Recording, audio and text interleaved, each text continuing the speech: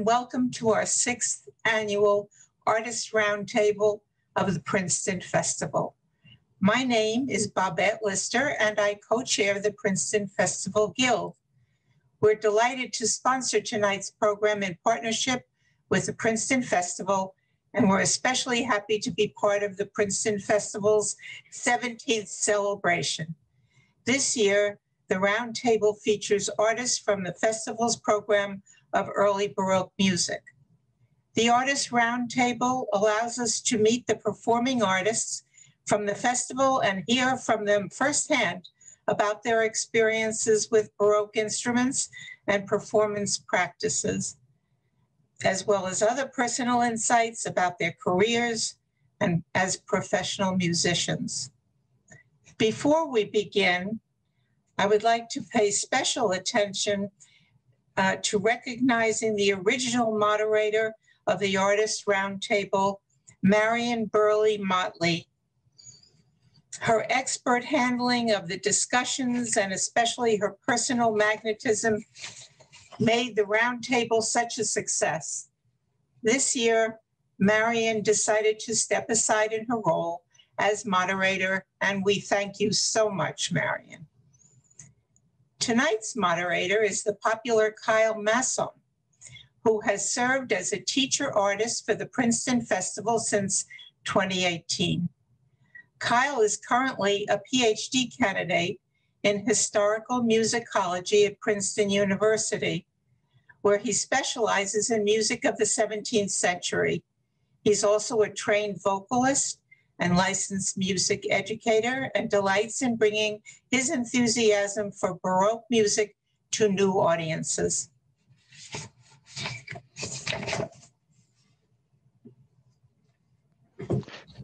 Thank you very much, Babette, for that wonderful introduction.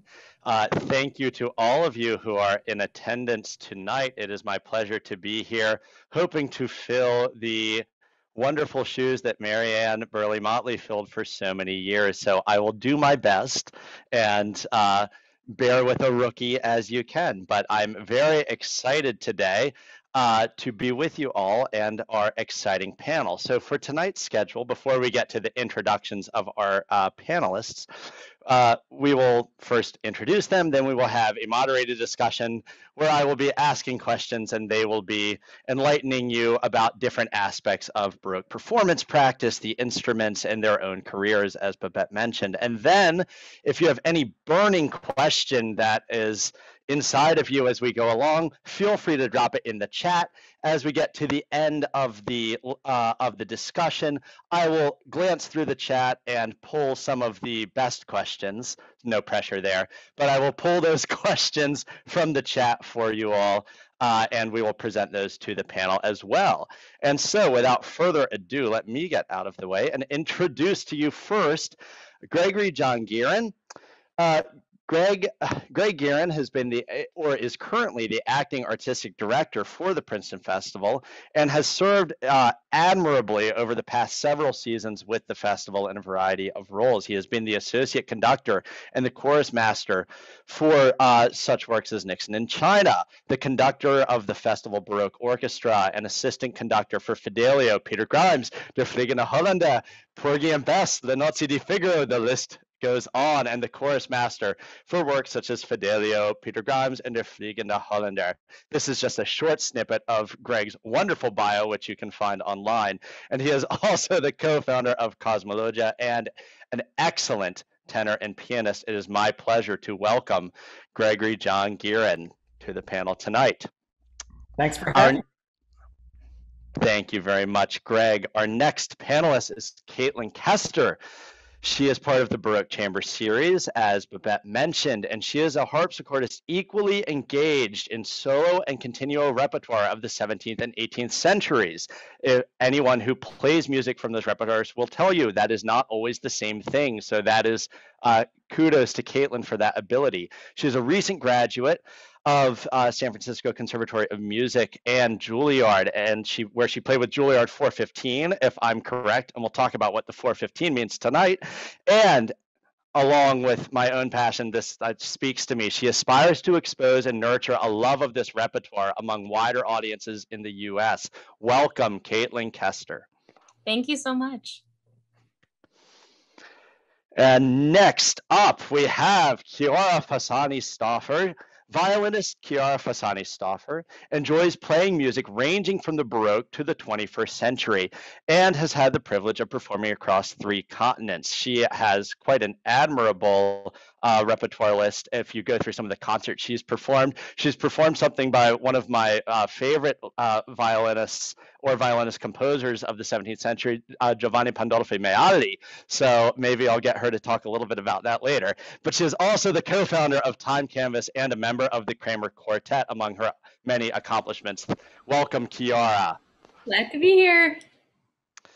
And last but certainly not least, we have Joshua Stauffer, who is a restless creative who performs music from over four centuries on a variety of plucked instruments. I love that line. And he holds degrees from the Juilliard School in lutes, the Cleveland Institute of Music in classical guitar, and the University of the Arts in jazz guitar. So truly a multi-talented individual. Please join me in welcoming Joshua. Thanks so much. All right. And so let me stop oh, stop the share here. Uh, I thought we would kick things off. Just in my experience, I find that when you get into early music, it's not always the first stepping stone in the in your sort of path to early music or classical music rather. So I just wondered for each of the panelists, and we'll start with Caitlin, if you could just start out by describing your path to early music and maybe a little bit about why you've decided to put uh, to put up camp here for a while and and hang out in the world of early music the way that you all have. So we'll start with Caitlin, and then we will move from there. Sure.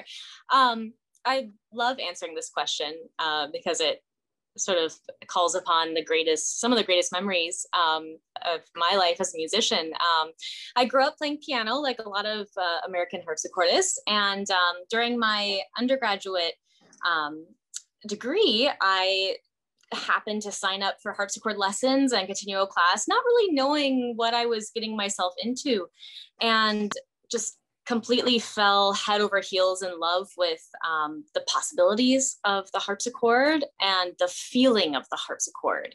Um, my the feeling of my my body and my music making tools at the harpsichord uh, is so different than I ever felt at the piano, and it just felt like home. Um, and so, from my undergrad, I sort of had to make this decision, or I felt like I had to make this decision. What do I want to do next? And um, the answer was pretty clear for me. I wanted to just play the harpsichord for the rest of my life. So that's my journey.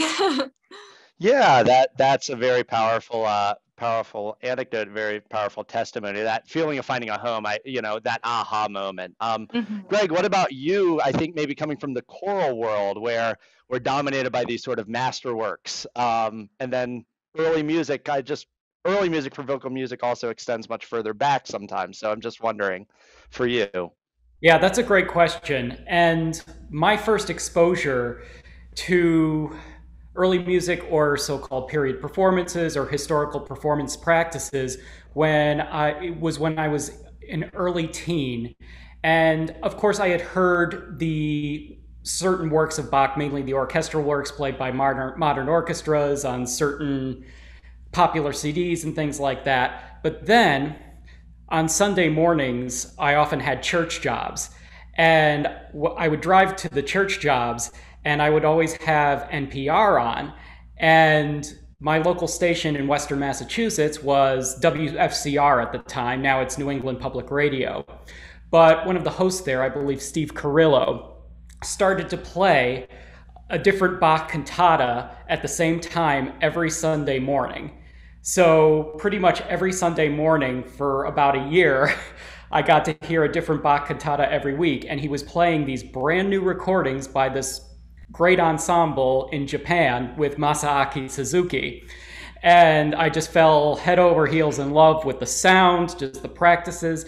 And that's when I started exploring kind of this world a little more. And it was about the time, same time where I started organ lessons in kind. And I was lucky enough to take from a great uh, organ professor. He was the organ professor at Mount Holyoke College at the time.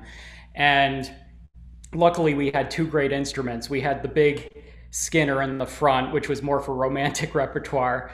But what I really fell in love with was in the back of the chapel, they had a pipe organ built in the style of 18th century Dutch and German masters by the noted organ builder Charles Fisk. And so that was a completely new world for me. Tracker action, or so where the keys are directly connected to the pipe with a with a tracker or a small piece of wood. And it's just I I have never turned back since. I have many interests, but that that was the point where it really caught my attention.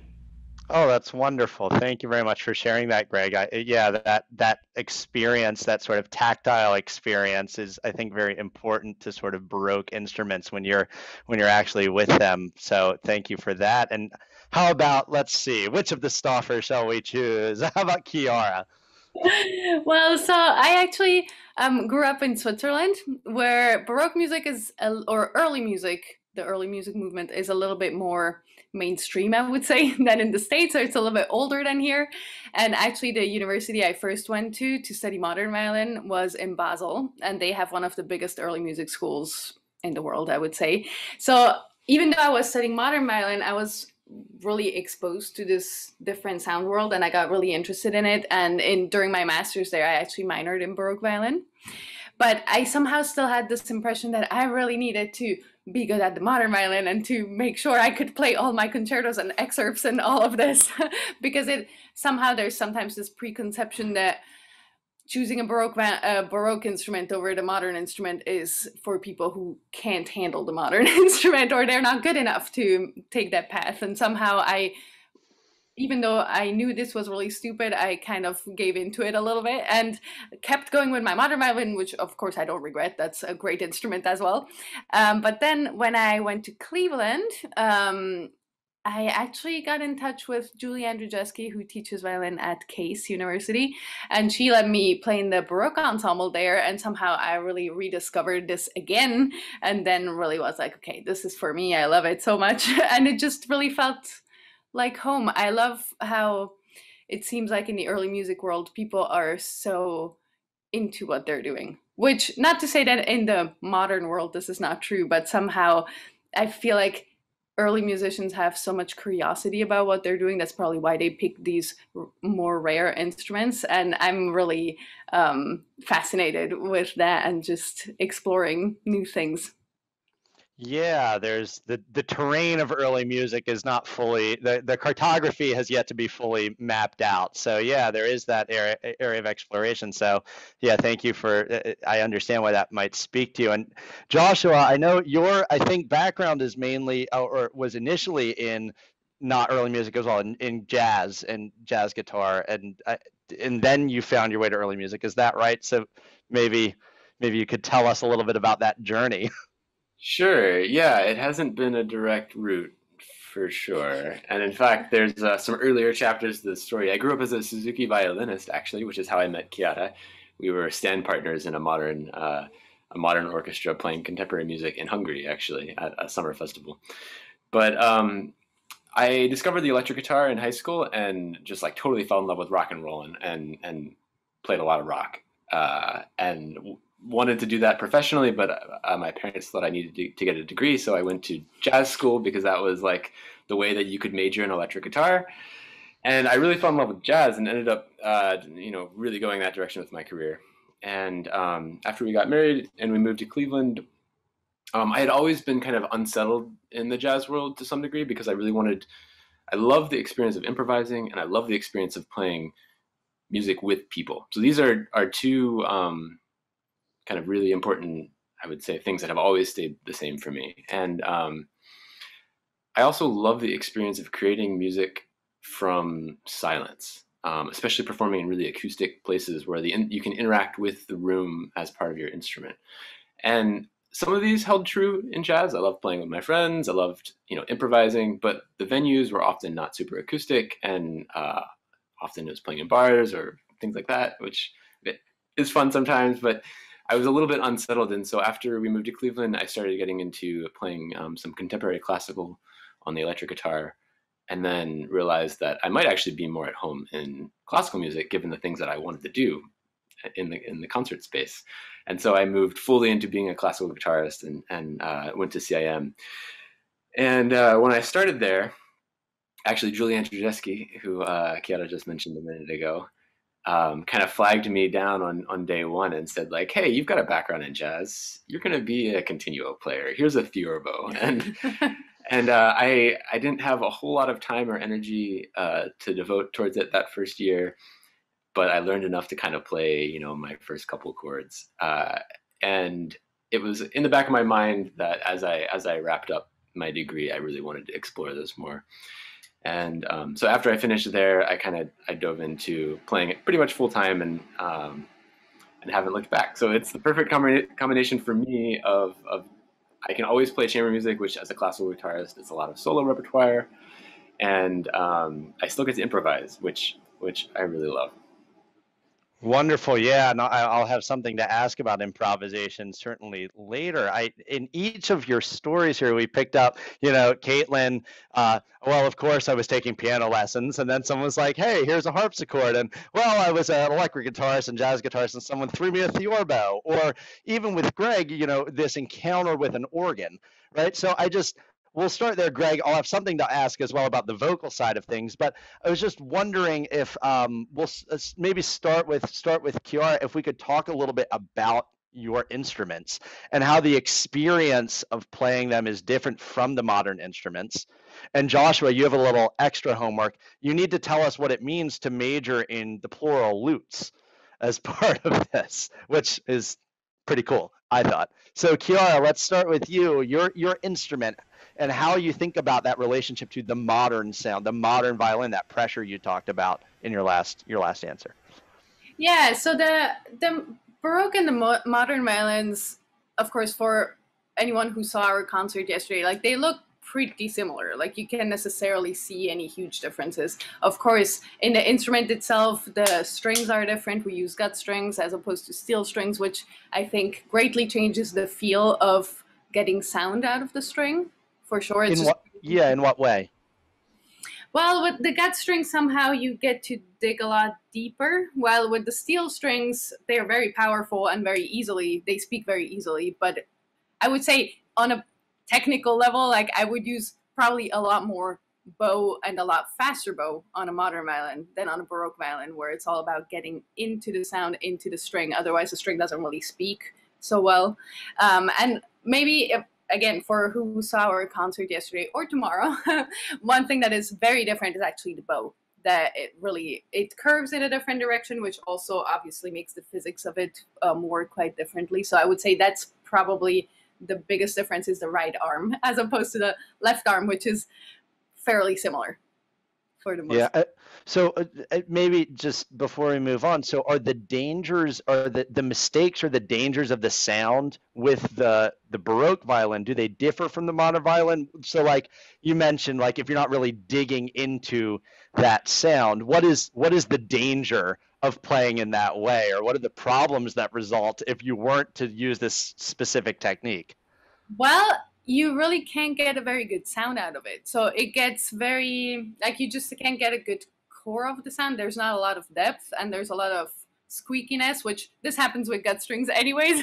and with the humidity we currently are dealing with, that's definitely a problem, even on the best days. But if you, you know, if, if you approach it the same way as a modern instrument, you definitely have even way more um, issues with that. And I think in some ways also from the music in some ways baroque music is a little bit more straightforward harmonically and everything and I, I think as such we talk a lot more about shaping different things to a bigger extent maybe even though of course we do this in, in more modern music as well but i think if we don't do that in baroque music it tends to come across as very flat and a little boring to listen to. And so I think the, you know, all this bow action that we were talking about has a lot to do also with like really getting the most out of every note. Yeah, I think the Baroque violin is so connected to the voice as this rhetorical device, and you have so much control with that particular instrument. Uh, uh, well, how about Joshua? Uh, lutes. what do we have going on there? And then the instruments that you're daily involved with. What? How are they differ? How do they differ from some of your other modern instrument experiences? Yeah. So uh, lutes are a never-ending world. And if you ask me, uh, you know, how many lutes I need, the answer is just one more. and uh, the, the lute community is is really you know fantastic and welcoming. And one of the things that's been really amazing is that uh, everyone has a number of instruments and tend to be pretty generous with saying, uh, "Oh, here, like take this instrument and try it for a little while and, and uh, get some experience with it." So uh, I primarily play the theorbo, um, which is the biggest of the lutes. Um, it's a, a bass lute that showed up around 1585 or so um, when singers were trying out a new style and they wanted to have extra bass support. So uh, this is like, you can think of this as like the acoustic guitar of the 17th century for like all the singer songwriters doing their their jam. Um, so lutes are not actually guitars, uh, and there are some significant differences. Um, for one, lutes are always built to the brink of disaster. That they're just like ready to explode at any moment. And, uh, guitars tend to be a little more stable, um, and uh, part part of that difference is in how they're uh, how they're framed. Lutes have a rounded back made of many ribs, um, and uh, so yeah, it's just a very different experience to to play a lute. And actually, when I first started, uh, actually when Chiara first started playing some Baroque music again when we were in Cleveland. She wanted to do a project with the ensemble we had, Time Canvas, and uh, I think it was like a Couperin piece or something. And she was like, "Hey, just can you play this?" And it was like figured bass, and I had no idea what this was, and it took you know some figuring out. But I played it on the guitar, and it was a really hard experience. It was like it it was never loud enough, and I like didn't really feel like I was adding anything. It was just really it was like a very I felt like I was fighting an uphill battle the entire time. And for me, the experience of, of getting a theorbo and actually playing on you know gut strings with this enormous two meter long instrument um, with super confusing strings, everything's out of out of the order from where you expected on the guitar. Uh, as much as it was a disorienting experience, it was also it made the music make a lot more sense. Um, and I think that's kind of something that I've heard from a lot of my colleagues as well. Uh, coming to these Baroque instruments and getting to know the instruments on their terms, not on our kind of modern terms, is a really good window into understanding what these composers might have been might have had in mind when they were writing this music. Sure. Yeah. Thank you for that. Have you ever had anyone say, "Oh, you play like such a guitarist," like when you were first starting out? Is that like the kind of thing? Definitely. like a teach. Yeah. Okay. I'm just wondering. I don't know. And maybe so as we move, I'll have Caitlin answer next. Uh, is that like a harpsichordist teacher thing to be like, "Ah, oh, you you're playing like a pianist" or something like that? Actually, yes. Um, definitely. um, well yeah, so the the differences between um, the harpsichord and the piano are are great, um, are huge. Um, the I mean, you you have keys that you're playing with your fingers, and perhaps it's generally a similar shape, kind of. Um, but the the way that you're producing sound is so different. Um, you know, with the piano, you have felt hammers hitting six strings um, and you play to the, the key bed and um, with a harpsichord you have um, strings that are being plucked by these very small um, pieces of delrin or bird quill. And so the, the action is very delicate and it's um, a lot of piano playing involves your back and um, arm weight and all this you know powerful stuff. Um, but on the harpsichord, you have to be very sensitive and very delicate and feel the string, the, the tension of the, the, the small piece of equipment against the string and um, manipulating how this small um, plectrum is plucking the string. And so um, a lot of um, pianists may sit down on a harpsichord for the first time and think that that they can use as much power and as much weight. Um, and instead, all you get is this slapping of wood against um, more wood uh, kind of sound.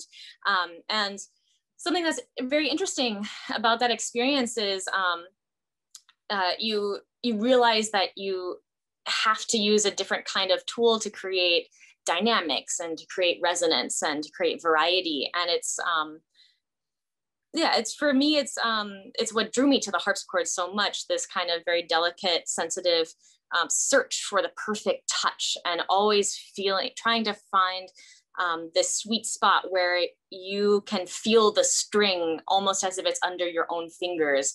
Uh, I mean, I, I I'm jealous of my colleagues who play instruments where literally the string is under their fingers, or um, you know, they're they're hugging their instrument, their cello or their theorbo or their violin. Um, but with the harpsichord, I feel so much closer to that than I ever did at the piano because I'm feeling this the pluck of the strings, and um, yeah, it's a really beautiful experience. Yeah, I, so before I move to Greg, that kind of this. Uh, so in your bio, you have Caitlin uh, Thomas Beecham quote, a famous conductor, um, about Yeah. the sound of the harpsichord as quote two skeletons copulating on a tin roof end quote. So I, you're already speaking to this a little bit, but how does your approach to the instrument and, and I think the early mo- the, the early music um, movement in general has gone a ways towards counteracting that sentiment, which was very yeah. prevalent for a long period of time. A lot of these instruments, and Chiara, you've spoken to that a little bit as well. The way you play this instrument doesn't work if you're approaching it from a particular angle. So I'm just wondering how you think of what you're doing as counteracting that sentiment, or what maybe what Beecham was getting at, why he was thinking that way, and how you see yourself responding to that sentiment. Yeah, well, um, I I, lo- I remember first um, uh, one of my first teachers mentioned that quote or something, and I of course I thought it was hilarious, um, as many people might. Um, and you know, if you sit down at the harpsichord and you just throw your hands on the keys, it kind of sounds like that. You know, um, it's it's not. It's not re- you, uh, you know a little i teach a lot of young uh, keyboard students. I teach both piano and, and harpsichord students and um, a lot of little kids can sit down on the piano and throw their hands down and it, it still sounds like a piano and it sounds nice you know it's, it's something familiar to us. But if you do the same kind of thing at the harpsichord it will not respond to you and um, will sound quite clunky.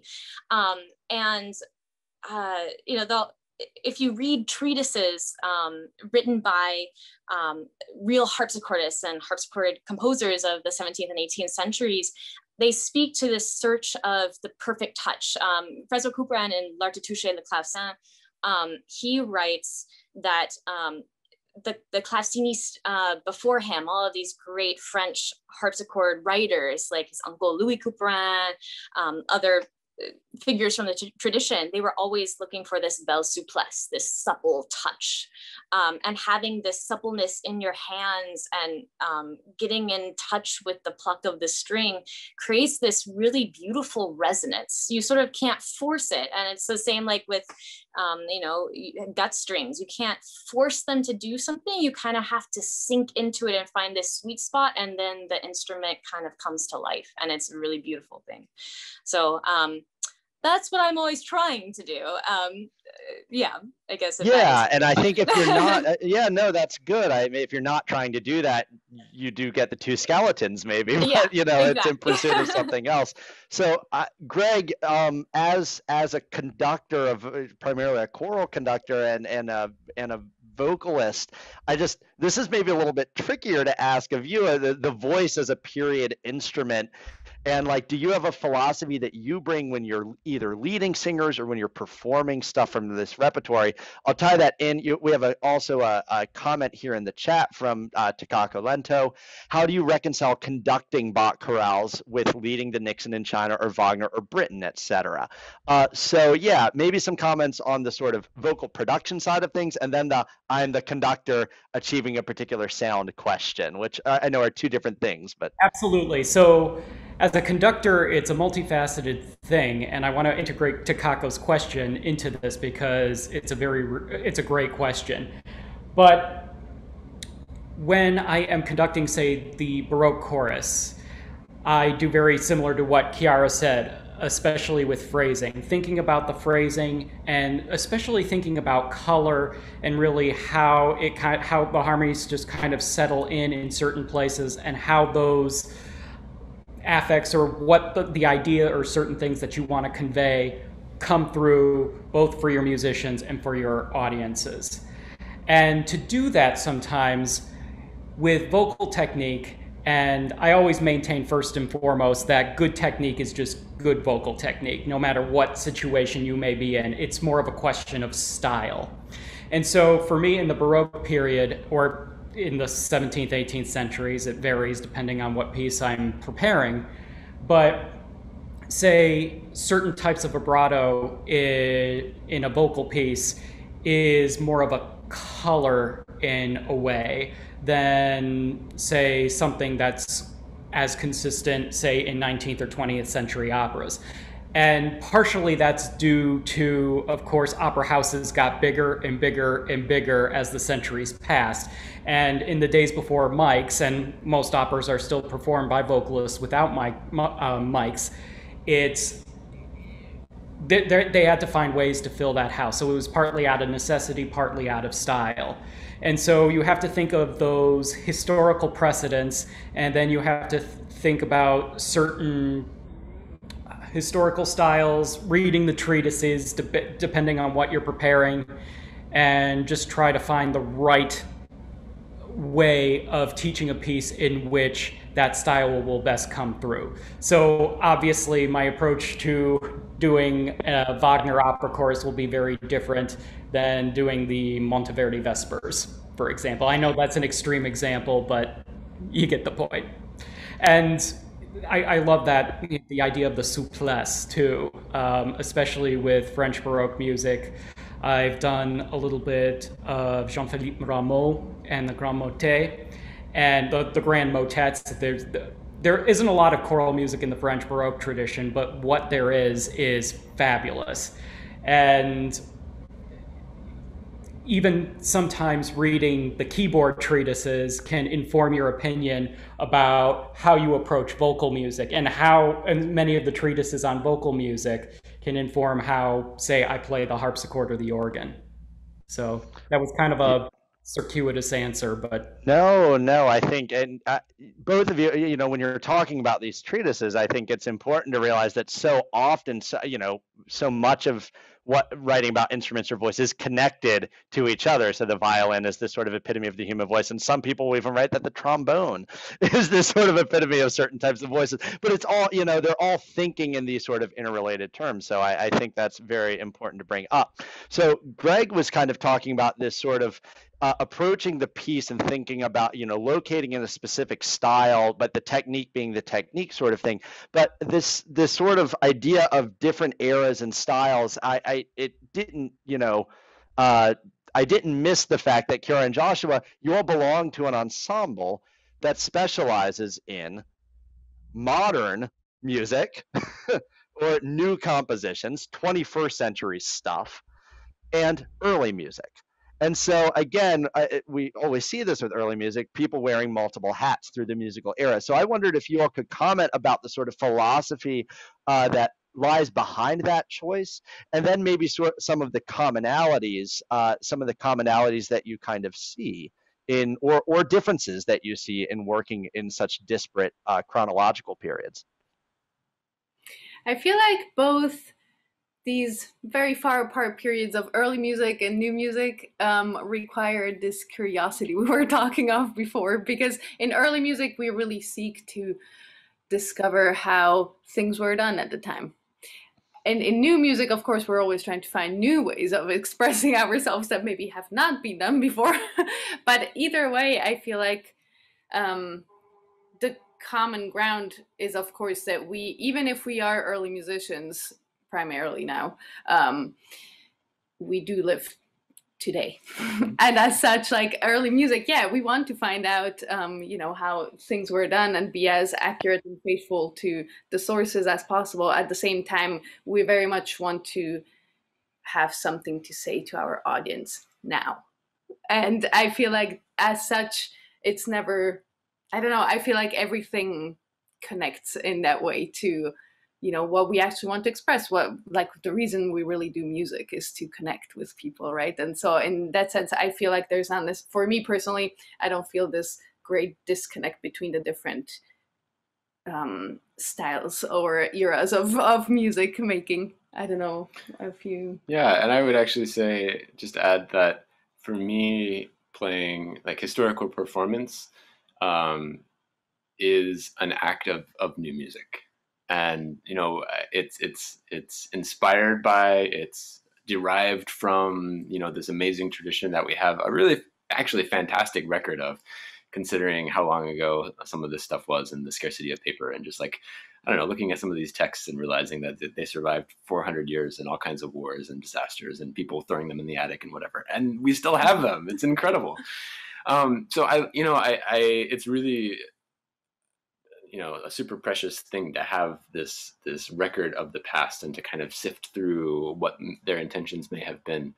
Um, at the end of the day, you know, music is sound, and uh, it's it's sound passing from one person to another, and and I never want to let that too far away from from my intention.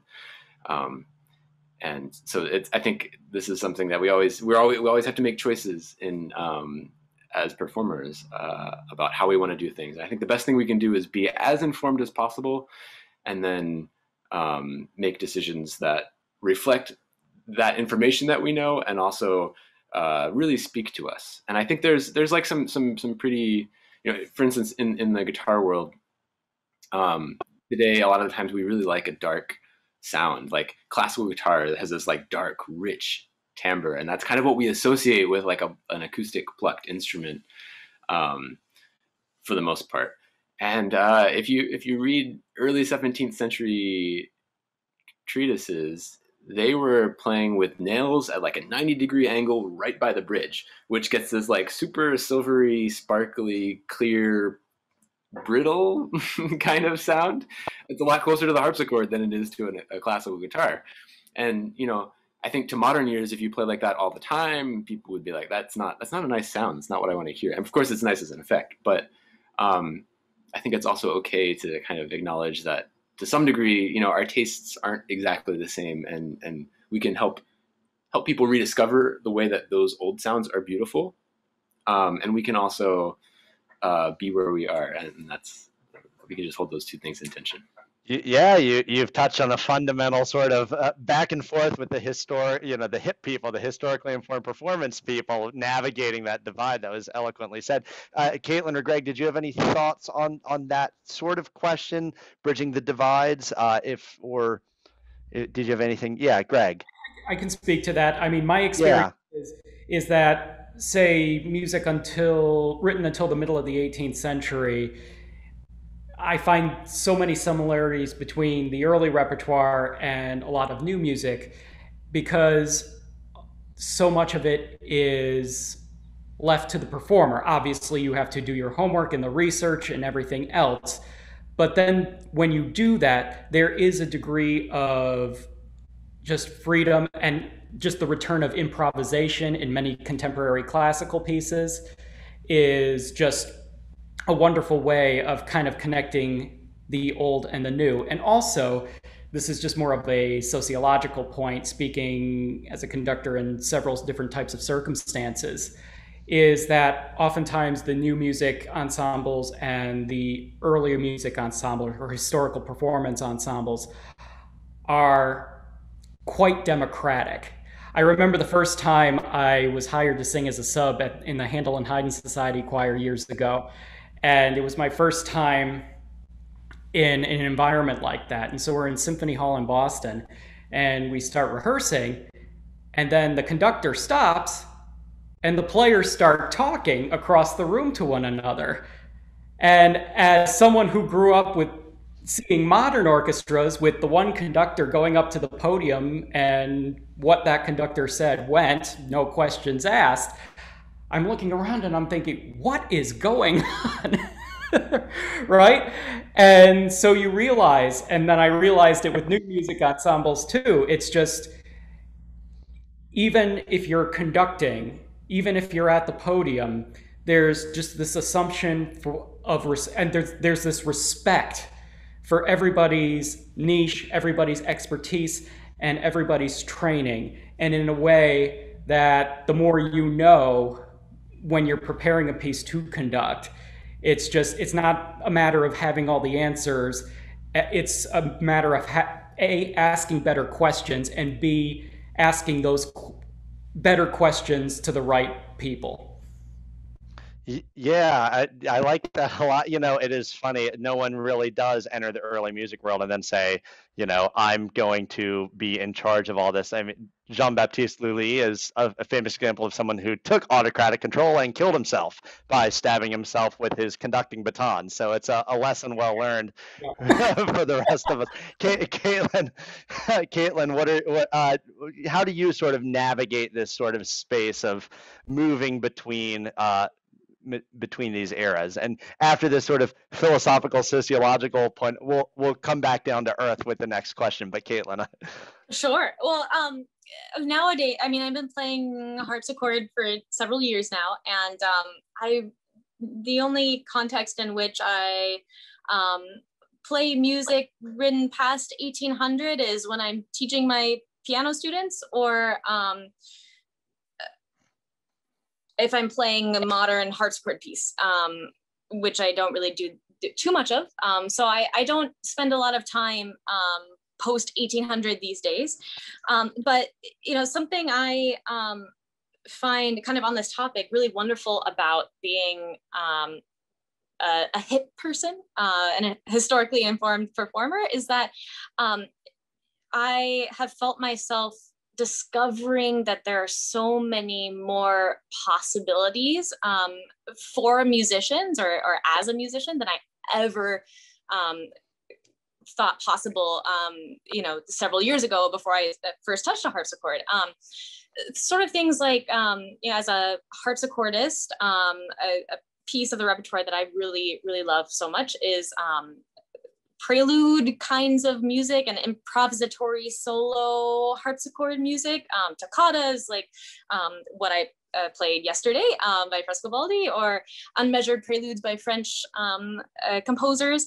Um, and this practice of kind of improvisatory prelude music um, is actually something that existed in keyboard repertoire far later than many people realize, well into the 19th century um, pianists were improvising preludes in their concerts. And um, that's totally something that's not a part of the modern piano, this the kind of general modern piano world today. Um, and so just kind of realizing those sorts of things or, or um, listening to late 19th century first recordings, first recorded music and hearing how people are expressing themselves really differently than the standard practice today. Like those sorts of things I find very um, inspirational. And there's just this wealth of possibility for musicians and continuing to go on that um, exploration and find new ways to be expressive and new ways to mix sound together um, is really exciting to me. Yeah. Yeah. So, all right. So, so that's the philosophy and i think you've all spoken very eloquently to that that sort of orients you towards this field all right mm. and hmm. caitlin you just mentioned the frescobaldi and so maybe that is a way to tie in we have a question in the chat would love to hear a bit about how you approached last night's repertoire and what we can expect tomorrow and i too was wondering for each of you favorite pieces you have from this particular concert or uh, mm. if you select a couple of pieces you've been involved with, what they require. Do they require different things, or what are the unique challenges or mm. some of the most significant challenges that you encountered in the particular repertoire that we'll be listening to here? Uh, maybe we can start with Greg. Well, I'm glad Caitlin mentioned the Frescobaldi because I was just enraptured by how how Caitlin played it last night, and it's just I was telling my colleague Becky Brett, who's the interim executive director of the organization, we were sitting next to each other backstage, and I said, I just love how it, there's, yes, we know the notes are written on the page for the most part, but at the same time, there's this certain elasticity that makes it sound improvised and it all and, and the form kind of moves organically like you're experiencing it in the moment for the first time, even though I have heard it a few times before. And so it's a real tribute um, tribute to Caitlin and her skills because it was just it was wonderful. So that's my short answer. Thank, thank you, Greg. And Caitlin, maybe you could also just add to that. I, I, I don't know enough about the Frescobaldi manuscripts or the edition, like how much of it is written down, um, and how much of it do you have to add? Sir, I, Joshua spoke earlier about continuo playing, where you're realizing a continuo, and I know that's part of your practice as well. So I just maybe you could comment on that before touching on maybe another piece, or yeah, or this piece as well. Yeah, well, um, just well, first of all, thank you so much, um, Greg, for your kind words. It, it really means a lot to me. Um, so the uh, the Frescobaldi toccata, um, the toccata form is a, a, very old, very early form in keyboard music. Um, and um, Frescobaldi was sort of at the end of the. I mean, Bach, of course, um, later um, wrote many incredible keyboard toccatas, but um, uh, a lot of people could say uh, and do say that Frescobaldi sort of perfected the form um, and made it this really um, virtuosic and wonderful thing. And um, uh, basically, um, the toccatas um, are pretty fully written out um, in you know standard notation with measures and everything, but he has a, a wonderful preface to his toccatas uh, and to many of his his works that sort of explains the approach and um, it should uh, be kind of improvisational um, because it, it is coming from this tradition of improvising a kind of prelude type of piece of music um, as a keyboardist. Um, and there are all these different sections. And he even says that you can play these sections out of order. Um, you don't have to start in measure one and go to the last measure. You can you know, play the first section, then maybe play a middle section, and then kind of jump around. And um, so it's sort of as if you're sitting down at the keyboard and just kind of well start in this sound world and then that takes me here and then that takes me there and this is a cool idea so maybe i'll do this next. And so it's that sort of approach. And then also on top of that there are certain sections like in the one i played uh, there are a few bars of just chords. Um, and when you see a section like that, um, it sort of invites you to channel your continuo player part, part of yourself and roll things in different ways or maybe add some diminution kinds of ornaments or um, linger in certain places or you know kind of make something um, of it instead of chord chord chord you know. Um, yeah so that's sort of the toccata um, yeah I, I, love the idea of you know sort of choosing the sections. It's like you know while I'm singing Fauré's Requiem, and we'll just start with the mm-hmm. Libera me, yeah. and maybe well, you know just kind of. But no, it is this sort of fundamental uh, different or a different orientation towards what a score mm. tells us and how we mm-hmm. get our way through it. So, um, what about yeah? What about uh, Joshua? Yeah, so I'd love to. Uh, I, I saw the, the question come in as well, and I thought I might wrap some an answer in on that at, at the same time here. Um, yes. So I the reason that I love playing this music is because it's uh, the, the, the era of the basso continuo, and that's really the music that I that I specialize in. You know, from right around 1600 to about 1750, give or take. Um, and for me, uh, my instrument, um, the theorbo, is really the predominant or one of the predominant instruments for the early 17th century. Um, it's very influential, as I mentioned before, for singers, um, and it, it's it's a it's a really important part of this kind of developing style. Uh, as we get later in this in the 17th century and, and, certainly in the 18th century, the keyboard starts becoming a little bit more predominant, and composers are writing now instead of with the voice in mind are thinking maybe a little bit more from the keyboard. The bass lines get more keyboardy or and uh, and they get harder to play on this enormous instrument. Um, the theorbo has a string length that's closer to the upright bass than it is to the cello or the guitar, and so the, the, the frets are very far apart. And so when you have really fast moving moving bass lines, it's just it's kind of cumbersome um, to get around it. So to, to tie this in with a question in the chat, what happened to the role of the continuo player uh, after the Baroque era, and it, it's it morphs. It, we kind of see a change. Um, in Renaissance music, we see the the role of the harmony distributed pretty equally throughout the different voices. And one of the kind of key revelations in moving into the the basso continuo um, era is that uh, the accompaniment players can actually write out this shorthand for that, and that's these uh, these figured basses. Um, and then we improvise on top of that. We don't need to have everything written out. Fact, they were probably improvising a lot in the Renaissance too. Um, and as we move into the 18th century, it becomes more and more keyboard uh, centric, and that just that just kind of continues. And and I would say the piano is probably uh, what we would think of as kind of the core accompaniment instrument for for 19th century music, for instance.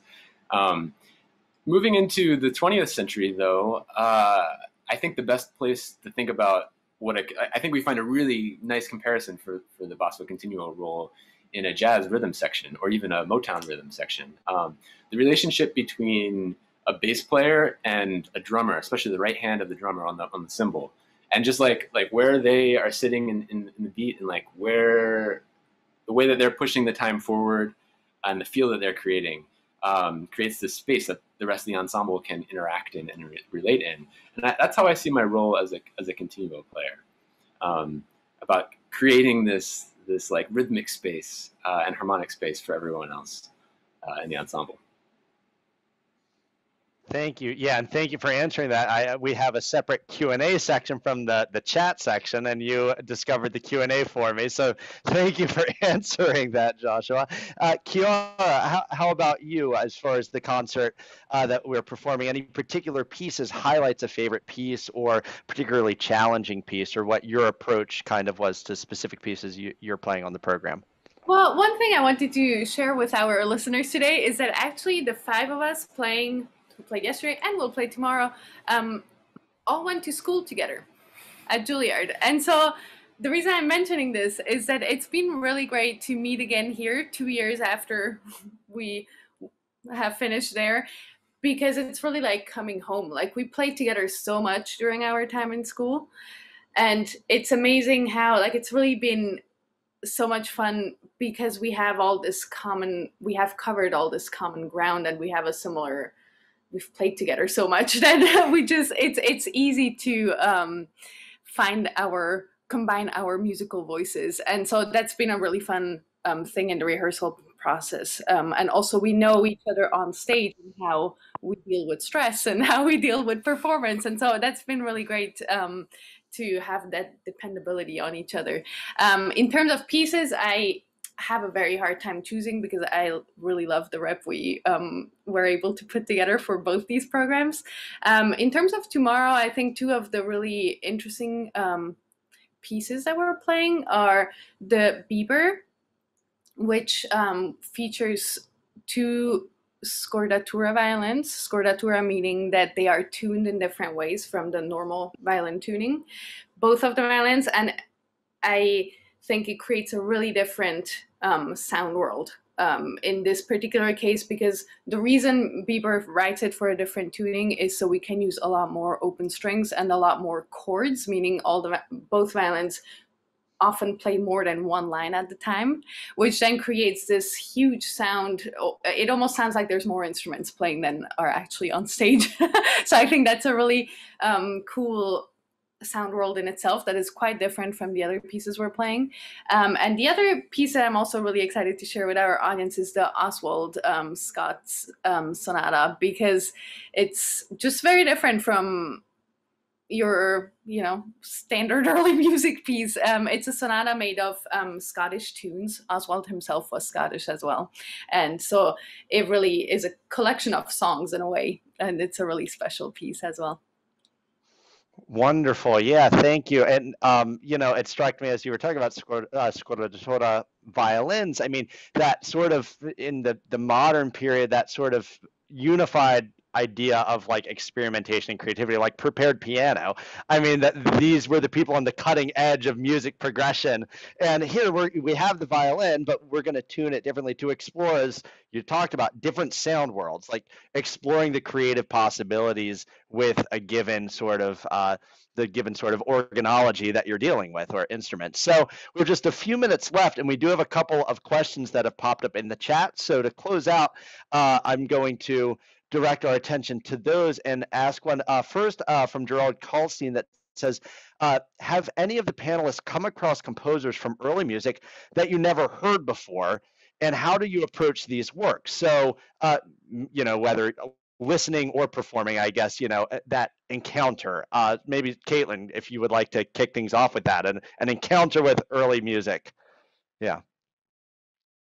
Yeah, well, um, gosh, I mean, um, uh, now being so ingrained in this world, I, I um, have a far greater familiarity with um, uh, composers of harpsichord music and early music. Um, but I mean, when I first um, started playing the harpsichord, I had never heard of Louis Couperin or Frescobaldi or um, Elizabeth Jacquet de la Guerre or so so many people um, and it's, so fun um, to realize that there's just um, an enormous amount of music available to us um, and so many composers that we still have barely touched yeah for example there's um there's this really wonderful manuscript i discovered this um this year um by a, a young girl um, in the 17th century, a, a, girl who played for Louis XIV. Um,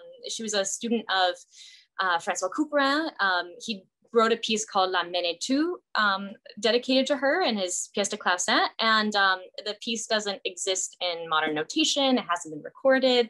Um, and it was published by this 12 year old girl, um, the youngest girl to publish in, in France in the 17th century. And um, so many possibilities. Are so many uh, uh, works like that that are still, you know, floating in this world. And um, so I guess that's my answer. Um, I've become aware of so many composers and I'm excited to keep discovering more um, throughout my lifetime. Yeah.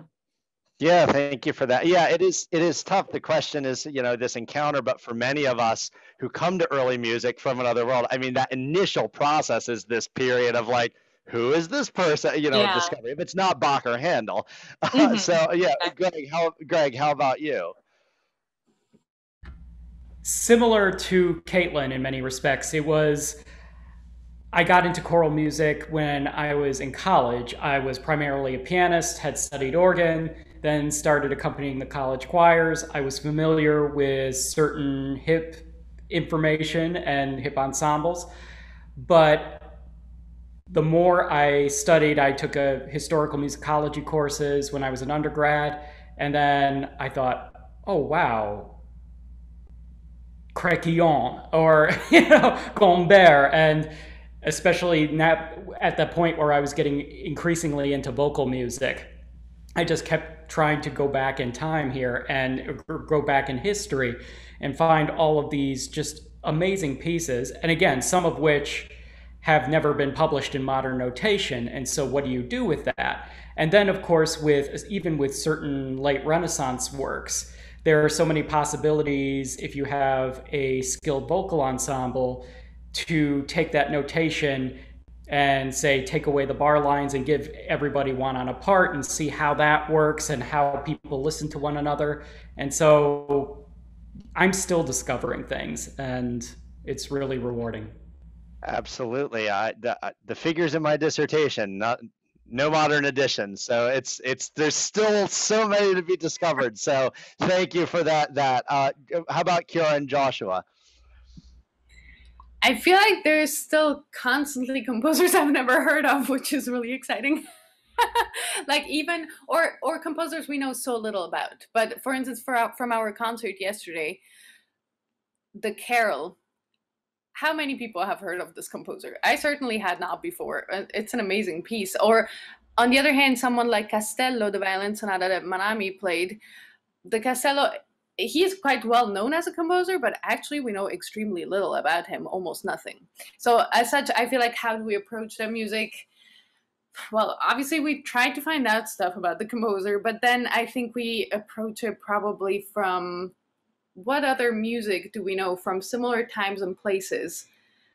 And how does that relate maybe to music we already know? And how is it different? And you know, I think it's it's a little bit, of course, somewhat of a guessing game, but I think we can make fairly informed guesses based on other music that we know better from the same time period.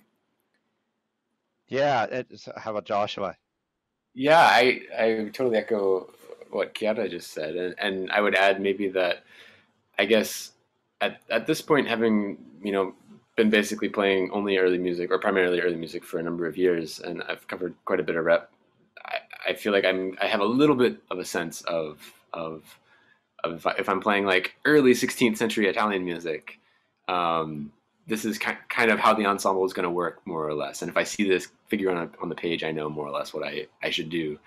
Um, whereas even if like only you know maybe 30 years later, north of the Alps, up in Germany or Austria, it's a very different sound world. You know, very inspired by that, but but there's some significant differences. And if you uh, have music from the same time but from France, it's like a whole different world. Um, so I think I have a lot more to learn about that. There's a lot of music out there that I haven't played, which is which is super exciting. um, but I think that's that's the way that I would approach it. Like Yada said, kind of framework it with other repertoire that's geographically similar um, and of a similar time with the kind of awareness that you know just like in today's popular music you know give it 10 or 20 years things are going to change a lot. Like the conventions and what we think are, of as sounding normal changed a lot over a, a decade or so. And uh, that was certainly equally equally true in the 17th century i would say Yes, and not always a lot of agreement even between air. You know, French French would always say things about Italians because they didn't always like the Italian. You know, they had they didn't like the castrato sound as much, and so the, there's not a lot of agreement. And then in Austria, they loved it. You know, we have Italians everywhere. This is the best thing. So yeah, that's a good point to bring out. Uh, so in closing, I'm going to ask Pat's question, and that ties into the last question I kind of had, and that will conclude our evening. Pat uh, Virga asks, from your many performances does any one or two stand out in your mind as particularly special? And that will serve as sort of my final question of we're going to leave you know your concerts loving early music i'm sure all of us with a newfound appreciation. So what are your sort of recommendations for anyone who wants to go out and discover more? Who are some composers or pieces to start with maybe drawing from your own experience? So oh haha uh, don't don't stop being a moderator yet. Greg why don't we start with you well, I know he's not an unknown composer, but one of my best discoveries of late Baroque music was, of course, discovering the vocal works of Handel, not just Messiah, but his many other oratorios. And when I was a doctoral student at Indiana, we, uh, the Pro Arte Singers, which was one of the early music choirs, small chamber chorus of about 20 to 24 singers, depending on the situation we teamed up with the Baroque Orchestra, which was part of the early music. It was then known as the Early Music Institute. Now it's the Historical Performance Institute. But we came together and did a performance of Handel's Judas Maccabeus. And I had known the piece on the periph- peripherally, but it's just with the Baroque Orchestra and the democratic way of rehearsing and the smaller group of singers it's just you hear counterpoint and there's a certain transparency that you that you just don't get with say the performances with masses of people on the stage. And it inspired me later to write my thesis on Handel's Jephthah which is his final oratorio and it criminally underrated Thank you for that recommendation, Greg. Yeah, Handel's one of those ones. So it's like, oh, I know Handel, and every time I pick him up to listen again, it's like, oh my gosh, Handel is amazing. So thank you for the, those recommendations, Judas Maccabeus and Jephthah. Uh, Caitlin, how about you? Um, gosh, well, um, to to speak um, to your your question about um, the favorite performance experience, um, I always think about the first uh, orchestra project I was in um, at Juilliard. I, I was fresh from a piano degree um, in my undergrad and hadn't played too much continuo yet. Um, and I um, was the second harpsichord to William Christie um, for a, a, Monteverdi project. Um, and among the, the pieces we, it was all kind of Monteverdi book eight works, um, including his Ballo dell'Ingrate and um, some selections by other composers. But I just remember um, one piece in particular um, being on stage and looking around me and hearing these amazing musicians who are now my colleagues um, in the band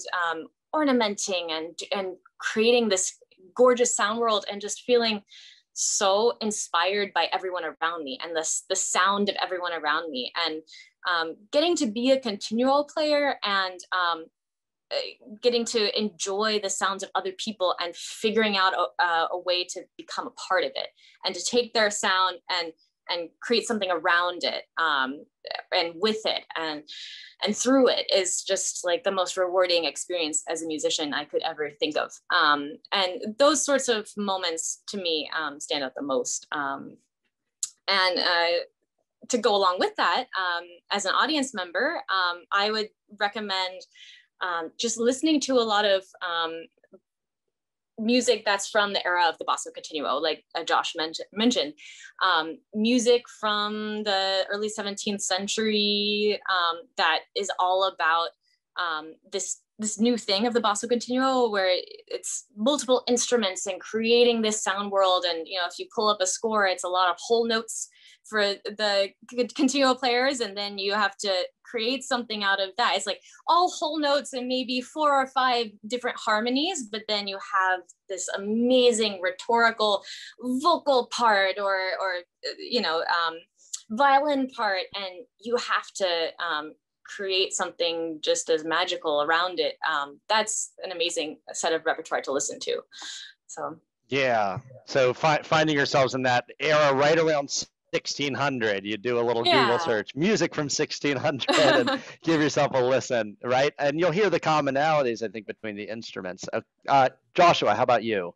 Recommendations or one or two standout performances from your life. Yeah so there's there's a lot of great music out there. Uh, i i should first say um, for people interested in the theorbo, I know this is like maybe some people are very familiar with it, but if you're not and you would like to hear more, I recommend um, checking out maybe some Piccinini, uh, Alessandro Piccinini, who was a composer uh, in Italy in the early 17th century. Also, um, is another great one. There's been a record that I've been listening to uh, recently by Carlos Oramas of, of music, which is really great.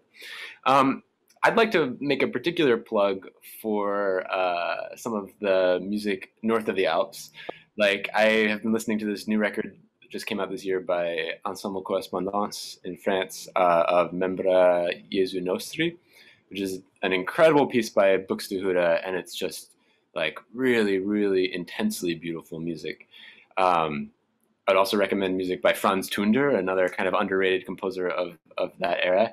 And I really like Carlo Farina, uh, who wrote some violin sonatas um, also around the same time. And it's just interesting, you know, to hear this kind of uniquely uh, German take on the Italian things that were happening at the time. Uh, in terms of a highlight performance, there's been a lot. Um, it's hard to pick just one, but the last live actual live concert I played, uh, I guess at the beginning of March of last year, was in Invercargill, New Zealand, the southernmost tip of the South Island, one of the southernmost cities in, in the world. Um, and it was a really emotional experience to perform that concert because we had just finished a really intense uh, 10 concert tour of, of all across New Zealand. Um, and there was so much uncertainty. We had, you know, we were getting the news like concert season's canceled. Like we're probably not doing any more performances. Like school's done. Like you know, we had no idea what was coming. And so to play that last concert and know, like, know that it might be the last one for a while, uh, and also have it be this music that we played so many times. So there was, you know, the more you play music, the same repertoire, I feel like you can you can get this uh, always these deeper layers of meaning. Um, that was a really a really special experience on the very bottom of the world and it's uh, cool to have some colleagues uh, who were there. Manami was actually in the orchestra as well, um, and to be to be here playing with them uh, this week, it's really it's really great to be back. That sounds phenomenal. Thank you for sharing, and I'm very happy that you got to be in New Zealand, playing such wonderful music. And we'll close things out, Chiara.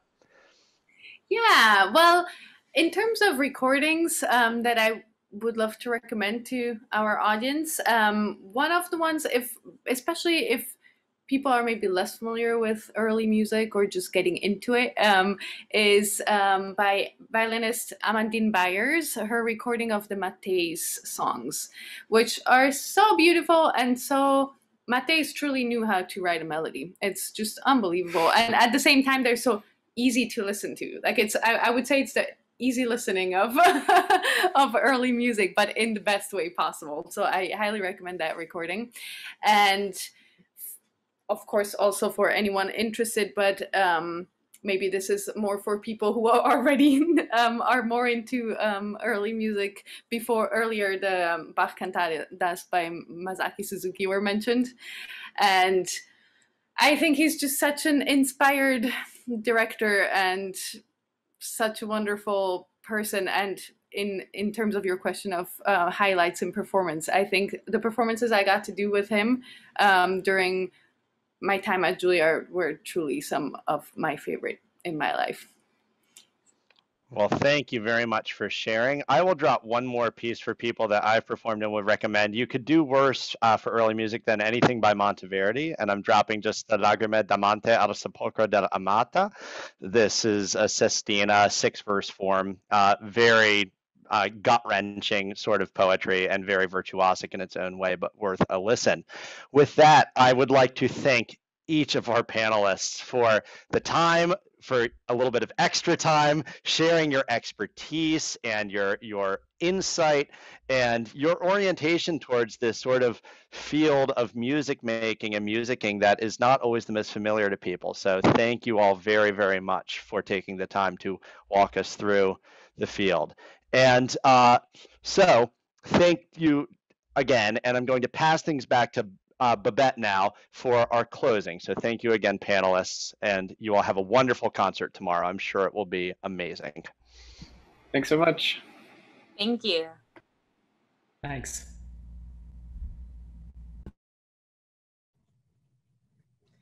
Thank you, Kyle. This has been delightful. It's been informative. I'm sure everyone appreciates your, your skill at guiding the discussion Thank you all to the wonderful panelists uh, who made the evening so enjoyable.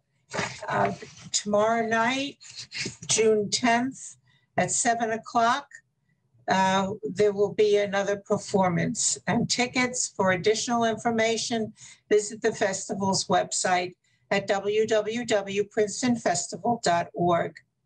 Now, I'd just like to say a few words about the Princeton Festival Guild Membership is made up of enthusiasts who enjoy and want to support the Princeton Festival. We collaborate with the festival to help create its many educational and community programs designed to excite, inform, inspire, and engage. If you're not yet a member of the Guild, we hope you'll consider joining. Before you leave, we ask you to take a few minutes to complete a very short survey by clicking the link on your screen. The information provided by you for you um, and by you serves the festival in numerous ways. We depend on your suggestions for making your our programs even better in the future. Thank you for coming and enjoy the rest of the Princeton Festival. Good night.